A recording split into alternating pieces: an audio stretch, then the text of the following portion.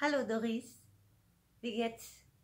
Ich habe gedacht, dass wir heute ein bisschen über Kunst reden könnten, wenn du willst. Ich weiß, dass du Kunst und Schönheit und Lernen liebst. Deswegen habe ich gedacht, dass ich möchte dir heute von einem der berühmtesten Maler der Kunstgeschichte erzählen. Das wäre Picasso.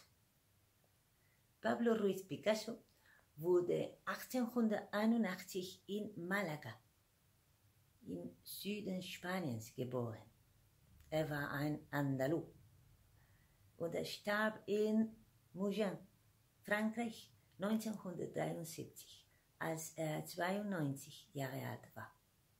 Und er malte bis zum letzten Tag.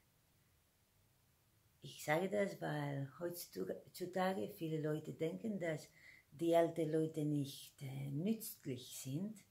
Und ich glaube, dass das sehr, sehr falsch ist. Und dass Picasso ist ein gutes Ex äh, Beispiel dafür.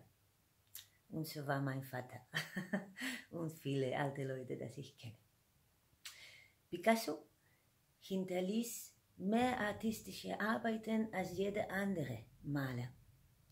Und sein Beitrag zur Kunstgeschichte ist äh, entscheidend für das Verständnis der Kunstgeschichte äh, und auch der aktuellen Kunst und unserer zeitgenössischen Kultur.